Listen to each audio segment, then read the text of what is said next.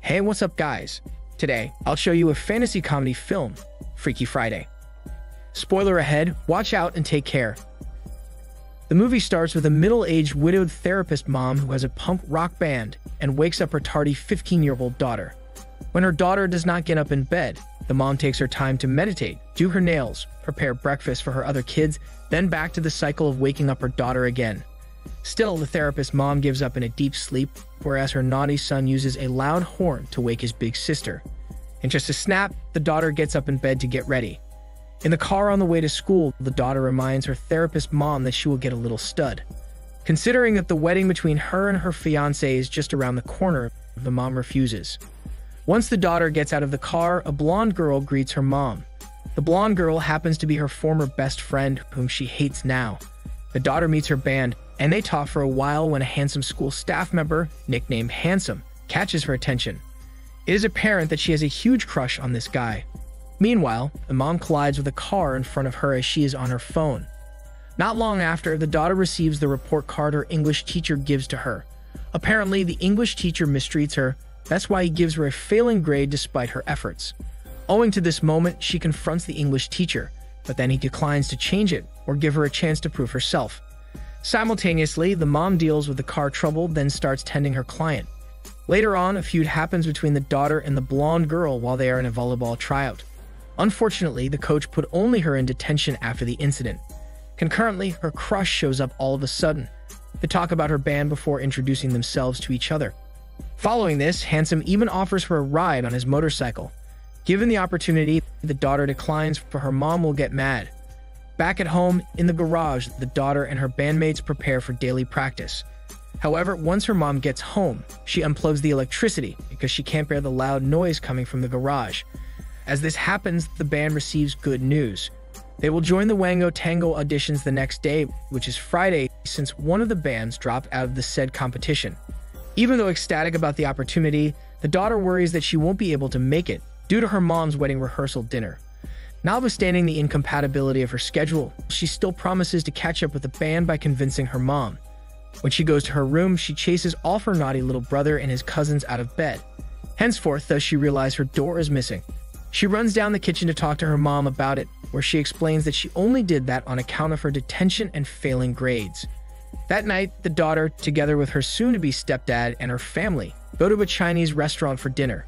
You can see how aloof the daughter is towards her stepdad, for she still can't recover from the death of his biological dad years ago. In light of the band audition on Friday, the daughter finally informs her therapist mom about it. Mad about the plan, the mom and her daughter get into a heated argument in the restaurant's corner. While this is happening, the Chinese restaurant owner interrupts them to give them fortune cookies. The owner's daughter tries to stop her, as if she knows exactly what her mother will do. When the restaurant owners start to bicker in Chinese, the mother has no choice but to accept the fortune cookies. Shortly after, they open the fortune cookies that say, A journey soon begins, its prize reflected in another's eyes. When what you see is what you lack, the selfless love will change you back. Thereby, a shattering earthquake occurs, and this is where a strange phenomenon commences. After the strange scenario, the mother and daughter go back to their dining table to ask if the rest felt the earthquake as well. Weirdly, it seems like they are oblivious and that they are the only ones who experience the spectacle. When Friday morning comes, the mom wakes up as early as usual. However, she wonders why she sleeps in her daughter's bedroom. She touches her hair, but her hair is not that long, nor does her proportion that teenager like. After checking herself in the mirror, she realizes that she has the body of her daughter. As she becomes wary of the situation, her naughty son barges in the rooms, saying their mom is dead. Thereby, the therapist mom wastes no time to awaken her daughter, which happens to inhabit her body. As this happens, the naughty son notices the change in his big sister's personality as she talks like his mom. When the daughter finally wakes up, they immediately realize the weight of their situation. With the wedding and band audition coming up, they can't be like this forever. In order to come back to their bodies, they try to clash onto each other, but nothing works. Not long after, they remember the earthquake that happened last night and the audacity of it so they plan to get through the morning trying to be each other, then go back to the Chinese restaurant at lunch. That day at school, Handsome appears as the mother and daughter argue about how they should behave. The mom won't approve of the guy, but since they are disguising themselves as each other, she decides to get on with it. Meanwhile, the daughter does not put much effort into the plan because her naughty little brother starts to suspect her. As the mother walks together with Handsome, she attempts to offend him, so he will not see her daughter again. Later on, she greets the blonde girl who used to be her daughter's best friend, but she pushes her away to her surprise. Upon this, does the mom realize that she is no longer her daughter's friend. The reality made her furious to call the blonde girl's mom, but her daughter's bandmate stopped her from doing so. For the time being, the daughter brings a new look or some massive transformation to her mom's body through fashion style, piercings, and haircuts. She spends a lot of money with this, which liberates her in a way as well. When she reaches her mom's office, the daughter finds out quite a lot of things. First, her mom has bad eyesight. Two, she is about to get a root canal appointment with a dentist. Three, she spends $10,000 on halibut. And last but not least, being a therapist can be stressful. As the daughter bores herself out with a surge of clients, her therapist mom visits the English teacher's room to ask him about the constant effort daughter receives even though she does not deserve it. As it turns out, she recognizes the English teacher as the guy she dumped years ago, and now he seeks revenge on her through her daughter. Accordingly, the mom threatens to report the teacher, unless he will treat her daughter right, who appears to be her. When the bandmates open the topic about the audition, the mom emphasizes that she is not coming. This way, the bandmates make a point to remind her that she no longer receives attention from her mom because of her stepdad. At this point, the mom slowly understands why her daughter is acting that way. When lunchtime arrives, they go to the restaurant to figure out how to break the sudden shift of their bodies. The restaurant owner's daughter calls her mom to explain what she did, but she does not answer. Embarrassed by what her mom did, the restaurant owner's daughter advised them to follow what the fortune cookie tells them to do, be selfless. It follows that the mom needs to attend his naughty son's parent-teacher conference. Given her appearance, the teacher will believe she is the mom, so she persuades her daughter to keep pretending like her and attend the meeting instead. Once there, the daughter reads a heartfelt letter her naughty little brother wrote for her. With this in mind, the daughter gets to appreciate her little brother more.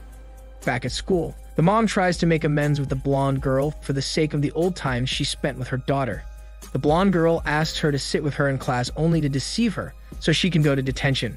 Meanwhile, the mom's fiance invites the daughter, still in her mom's body, to a talk show interview about her psychology book about adulthood.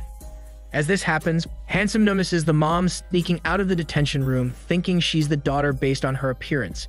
He then suggests helping her with her tests, since he has access to the faculty. This indicates that the guy is not bad at all, and that he is someone suitable to be with her daughter. While browsing through the papers, the mom seeks revenge on the blonde girl by erasing her answers and writing I'm stupid on it. For the time being, since clueless about the whole topic, the daughter finds herself ranting about how adults are such naggers. She also shows off her carefree side, despite being her mom's body. Owing to this situation, the mom watches the television show. Thereby, Handsome finds her mom cool. Of course, she is cool. She is a 15 year old rock band guitarist who is in her mom's body. Wanting so bad to go home so she can scold her daughter for not acting according to plan, she then convinces Handsome to give her a ride, which he refuses to do because of the no motorcycle riding policy she talked about the other day. He also says that she seems really different from the person he thought she was. Afterward, Handsome meets the daughter and mom at a coffee shop where he works. There, they talk about songs and bands, which seem really familiar to Handsome. However, their conversation must stop, for she is going to be late for the wedding rehearsal. Therefore, he offers her a ride home. Unfortunately, the mom's fiance sees her on a motorcycle with another guy. Once home, the mom reasons out that the guy is the one whom her daughter likes. After that, Handsome appears in front of their home, serenading her. Consequently, the mom, disguising herself as her daughter, has no choice but to drag him out. She also seals his lips with a smooch so he can stop thinking about his confusion about their identities. At the rehearsal dinner, the daughter's bandmates try to persuade her to go to the audition, not knowing that her mom is in her body. When the security catches them, the mom's fiance permits them to go because he wants to be a good father. After that, he also allows the daughter and mom to go to the audition for moral support. Considering the thoughtfulness of her soon to be stepdad, the daughter agrees to the wedding at last. However, the dilemma that the mom can't play the guitar comes into play when the performance starts. Good thing the daughter arrives at the right time. She plays the guitar backstage while her mom pretends to play. This happening opens the mom's mind to appreciate her daughter's talent and aspirations. While this is happening, Handsome is in the audience, utterly amazed by the daughter's performance. Considering the wedding rehearsal continuation, the mother and daughter return as the mom decides to postpone the wedding so that her daughter won't marry while she's in her body. However, instead of delaying the wedding, the daughter tells everyone how lucky her family is after the fiance's appearance.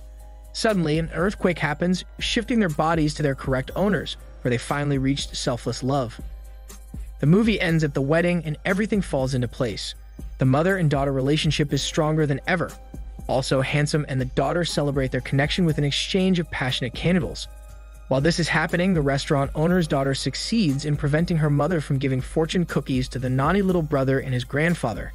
After that, the daughter's band wraps up the event with a song performance. Ultimately, the strange occurrences leading to a happy ending are indeed a roller coaster of a ride. What happened is such a memory to reminisce on that Freaky Friday. This is Daniel CC Movie Channel. Stay safe and enjoy your day.